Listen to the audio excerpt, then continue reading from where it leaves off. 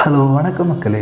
இன்றைக்கி நாம் பார்க்க போகிற படம் ரியல் எவிடன்ஸ் லேப்டாப் இது வெளிநாட்டு ஒரு ஷார்ட் ஃபிலிம்ங்க இது நான் ரீசெண்டாக யூடியூப்பில் பார்த்தேன். இன்ட்ரெஸ்டிங்காக இருந்துச்சு.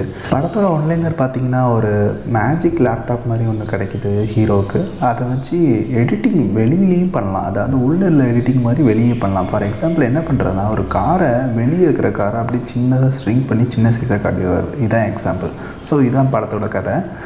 படத்தோட ஸ்டார்டிங் சீனில் பார்த்தீங்கன்னா மும்முரமாக எல்லாருமே வேலை ஒர்க் பண்ணிகிட்டு இருக்காங்க ஒரு ஆஃபீஸில் திடீர்னு பார்த்தீங்கன்னா நம்ம ஹீரோவை காட்டுறாங்க. ஹீரோ என்ன பண்ணுறாரு கர்சரை மூவ் பண்ணும்போது பார்த்தீங்கன்னா கிட்டத்தட்ட கம்ப்யூட்டரை விட்டு வெளியே வருது. அந்த லேப்டாப் விட்டு வெளியே கர்சர் வருது.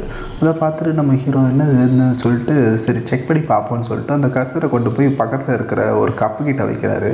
அதை வச்சுட்டு கிளிக் பண்ணும்போது அந்த கப் கி ஸ்லிப் ஆகி விழுகுது ஸோ அதில் த இருக்கிறது கொஞ்சம் கொட்டிடுது. ஸோ பின்னாடி உள்ளவங்களாம் பார்க்குறாங்க ஓகே தெரியாமல் ஆயிடுச்சுன்னு சொல்லிட்டு சமாளிச்சிடறாரு. ஸோ அப்போ இது ஏதோ சம்திங் இருக்குதுன்னு சொல்லிட்டு என்ன பண்ணுறாரு திரும்ப டெஸ்ட் பண்ணுறாரு திரும்ப என்ன ட்ரெஸ் பண்ணுறாருன்னா அந்த கர்சரை திரும்ப கொண்டு போய் வெளியே இருக்கிற ஒரு பேப்பர் இருக்கும் அதில் வச்சுட்டு எடிட்டிங் பண்ணுறாரு எடிட்டிங் பண்ணால் அது ஈஸியாக எடிட் ஆயிடுதுங்க அதை பார்த்தோன்னே அவருக்கு ஷாக்கு அப்படியே சிரிச்சிடறாரு. சிரிச்சதும் பின்னாடி இருக்கவங்கலாம் பார்த்து திரும்ப பார்க்குறாங்க. ஆனால் கண்டுக்கல. ஸோ இதை வச்சு வேறு ஏதாவது பண்ணலான்னு சொல்லிட்டு அங்கேருந்து வெளியே வராரு. வெளியே வந்துட்டு வெளியே போகும்போது பார்த்தீங்கன்னா பக்கத்து ரூம்லேயே வேறு ஒரு லேடி ஒர்க் பண்ணிகிட்டு இருப்பாங்க. ஸோ என்ன பண்ணலான்னு பார்த்துட்டு அது பக்கத்துக்கு நேராகவே ஒரு டேபிள் இருக்கும். அதில் உட்காந்து பண்ணுவார். என்ன பண்ண போகிறான்னு பார்த்தா ஆக்சுவலி அவர் என்ன பண்ணுறாருன்னா அவர் கசரை நேராக கொண்டு போய் அவங்க கீழ் கீழே கொண்டு போவார். கீழே கொண்டு போவாங்கன்னா அவங்க பெண்ணுறுப்புக்கு நேராக கொண்டு போய் வச்சு வச்சுட்டு அமுக்குவார். அவங்க ஃபீல் பண்ணுவாங்க. ஸோ அவர் என்ன அப்படியே விடலைங்க. அதுக்கப்புறம் என்ன பண்ணுறாரு அதை போட்டு தேய் தேயும் தேய்க்கிறாரு. இந்த கர்சரில் ஸோ தேய்ச்சவொன்னே அவங்களுக்கு ரொம்ப மூடாகி ரொம்ப எக்ஸைட் ஆகி அங்கேருந்து ஓடி போயிடுறாங்க. ஸோ அதுக்கப்புறம் அந்த அதுக்கப்புறம் என்ன பண்ணுறாரு நம்ம ஹீரோ வெளியே வராரு. வெளியே வரவங்க பார்த்தா அவர் ஃப்ரெண்டு யாரோ ரெண்டு பேர்கிட்ட பேசிகிட்டு இருப்பார். பேசிகிட்டு இருக்கும்போது சரி அவங்க பேசிகிட்டு இருக்கும்போது அவங்களுக்கு இணைஞ்சு கூப்பிட்டுட்டு இந்த வா நான் உண்மையான வேறு விஷயம் சொல்லணும் உனக்கு சொல்லிட்டு அங்கேருந்து கூப்பிட்டு வந்துடுவார் கூப்பிட்டு வந்தால் மேலே மொட்டை மாடிக்கு போயிடுவாங்க. போயிட்டதுக்கப்புறம் தான் அவர் விளவரியாக சொல்லுவார் இந்த மாதிரி எடிட்டிங்லாம் பண்ண முடியுது வெளியவே. ஸோ ஒரு எக்ஸாம்பிளுக்கு என்ன பண்ணுறேன்னு சொல்லி கா காமிக்கிறதுக்கு என்ன பண்ணுவார்னா கீழே இருக்கிற பில்டிங்கில் பார்த்தீங்கன்னா சில நேம்ஸ்லாம் இருக்கும். அவங்க கம்பெனி நேம்ஸ்லாம் அப்படியே மேலே போர்டு மாதிரி போட்டுப்பாங்க பார்த்தீங்களா?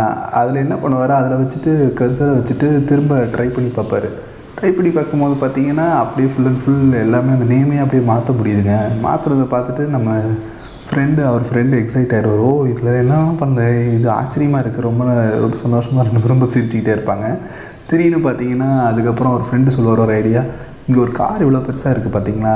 அந்த காரை கொஞ்சம் இது சுருக்கிறேன் அப்படின்னு இது சீன் தான் நான் முன்னாடி காமிச்சேன்.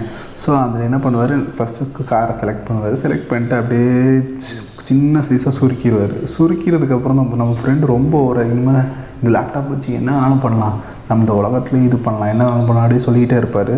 இவர் லிசன் பண்ணிகிட்டே இருப்பார். என்ன பண்ணுவார்னு தெரியல. திடீர்னு பார்த்தா இவர் இதை வச்சு நம்ம எது வேணாலும் பண்ணலாம் அப்படின்னு சொல்லிக்கிட்டே இருக்கும்போது ஃப்ரெண்டை லைட்டாக செலக்ட் பண்ணிகிட்டு இருப்பார். அவருக்கு தெரியாமலே. இவர் என்ன பண்ண போகிறான்னு பார்த்தா கரெக்டாக செலக்ட் பண்ணி டெலிட்னு கொடுத்துருவாரு. ஆக்சுவலி அந்த செலக்ட் பண்ண கா காலத்தில் வந்து பார்த்தீங்கன்னா இவர் கை மட்டும் மிஸ் ஆயிடும் ஸோ அந்த கை மட்டும் துண்டாக வெட்டி அங்கே மாடியில் வந்து கீழே விழுந்துருங்க ஒரு கார் மேலே. கீழே விழுந்தவொடனே அங்கே இருக்கிறவங்க எல்லா மக்களும் பார்த்துருவாங்க பார்த்துட்டு என்ன எப்படி நடந்துச்சு? ஒன்று ரத்தமாக இருக்கே அப்படின்னு. உடனே எதிர்ச்சியாக இவர் எட்டி பார்ப்பார் எட்டி பார்க்கும்போது மாட்டிக்குவாருங்க. ஆக்சுவலி அங்கே உள்ளவங்க எல்லாமே பார்த்துருவாங்க. இருங்க நான் உங்களுக்கு நைன் ஒன் கால் பண்ணுறேன் இப்போ போலீஸ் வந்து உங்களை பிடிக்க போகுது அப்படின்னு சொன்னோடனே இவர்கிட்ட என்ன என்ன பண்ணுறது தெரியாமல் அந்த ஹோல் மொத்தமாக மக்களையும் செலக்ட் பண்ணி இந்த காரையும் செலக்ட் பண்ணி டெல்னு கொடுப்பாரு. மொத்தமாக காலி ஆகிடும் ஐயோ என்னையா நடக்குது? இவன் பாட்டுக்கு நல்லவன் பார்த்தா ஹீரோ வில்ல மாதிரி ஆகி எல்லாத்தையும் கொண்டுட்ருக்கான் சரின்னு சொல்லிட்டு அங்கேருந்து கிளம்பிடுவாருங்க. யாரும் பார்க்கல எல்லாத்தையும் ஒரேடியாக க்ளோஸ் பண்ணிட்டாரு. க்ளோஸ் பண்ணவர் அங்கேருந்து கிளம்பி போயிட்டு இருக்கும்போது பார்த்தீங்கன்னா நடுவில் ஒரு காரை லிஃப்ட் கேட்பாரு இங்கே போகணுன்னு அந்த பையன் நிற்க மாட்டான். இல்லை நான் வேற எங்கேயோ போகிறேன்னு சொல்லிட்டு. உடனே அந்த பையனையும் செலக்ட் பண்ணி இது பண்ணலான்னு பார்ப்பாரு. அந்த பையன் வேகமாக போயிடுவான். சரின்ட்டு அவர் பாட்டுக்கு நடந்து போயிட்டு இருப்பார் நடந்து போயிட்டுருக்கும் பார்த்தீங்கன்னா எதிர்ச்சியாக பார்த்தீங்கன்னா கர்சர் ஒன்று பக்கத்தில் பெரிய பில்டிங்கில் பெரிய கர்சர் அப்படி நிற்குங்க அது மூவ் ஆகி நேராக அவர் கிட்டே வந்து நிற்கும் ஐயோ என்னடா இது? நம்மளுக்கு நம்ம ஒன்று பண்ணிகிட்டு இருந்தோம். நம்மளே யாரோ பண்ணிகிட்டு இருக்காங்களோன்னு ஒரு பயம் வந்துடும் அவருக்கு. பார்த்துட்ட கர்சர் நேராக அவருக்கு நேராக தான் நிற்க வச்சுருப்பாங்க. கரெக்டாக என்ன ஆக போகுது சொல்லிட்டு மேலே பார்ப்பாரு அதாவது இவர் இவர் மற்றவங்களுக்கு பண்ணார்ல அதே மாதிரி இப்போ யாரோ இவருக்கு பண்ணுற மாதிரி அவருக்கு தெரியுது. சக்குன்னு பார்த்தீங்கன்னா அந்த கர்சர் நேராக அவர் நேராக அவர் மேலேயே வைப்பாங்க. வச்சுட்டு கிளிக் பண்ணுவாங்க. சக்குன்னு அதிலே இறந்து போயிடுறாரு. கிட்டத்தட்ட ரத்த வெள்ளத்தில். ஸோ அதோட இங்கே படம் முடிச்சு போயிடுது இதுதான் படத்தோட ஸ்டோரி ஆக்சுவலி இது ஷார்ட் ஃபிலிம் அது நான் பார்க்க இன்ட்ரெஸ்டிங்காக இருந்துச்சுன்னு சொல்லிட்டு எடுத்தேன். ஸோ அவ்வளோதாங்க இப்போ என்ன தெரியுதுன்னா நமக்கு மற்றவங்க நம்மளுக்கு செஞ்சால் நம்மளுக்கும் யாரோ சேர்த்து வரும் பார்த்தீங்களா அதான் இதில் மெயின் மெசேஜாக சொல்லியிருக்காங்க. ஸோ அந்த படம் பிடிச்சிருக்குன்னு நினைக்கிறேன். இதேமாதிரி டிஃப்ரெண்ட் ஸ்டோரி ஏதாவது நான் அடுத்த இதில் மீட் பண்ணுறேன் அது வரைக்கும் உங்களிருந்து விடைபெறுது உங்கள் மகேந்திரன். நன்றி வணக்கம்.